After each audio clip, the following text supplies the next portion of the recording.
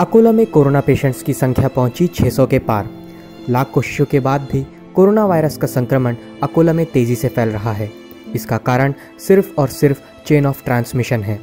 आज की रिपोर्ट के मुताबिक अकोला में 107 लोगों के स्वैब भेजे गए थे, जिसमें से 24 लोगों को कोरोना से संक्रमित पाया गया है और तिरासी लोग नेगेटिव आए हैं। इसमें 12 महिलाएँ हैं और 12 पुरुष हैं।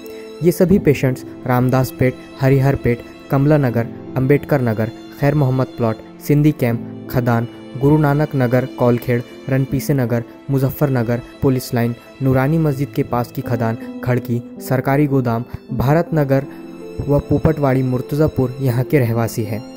इसी दरमियान एक महिला की आज मृत्यु हो गई। वो 55 वर्षीय महिला फिरदोस कॉलोनी की रहवासी थी।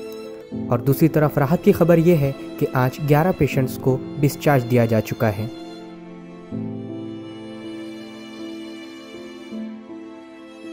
और आप सभी से निवेदन है कि इस कोरोना की जंग में अपनी इंसानियत को ना भूलें और एक दूसरे की मदद करते रहिए और अपना तो ख्याल रखिए ही और उन लोगों का भी ख्याल रखें जिनका कोई ख्याल नहीं रखता।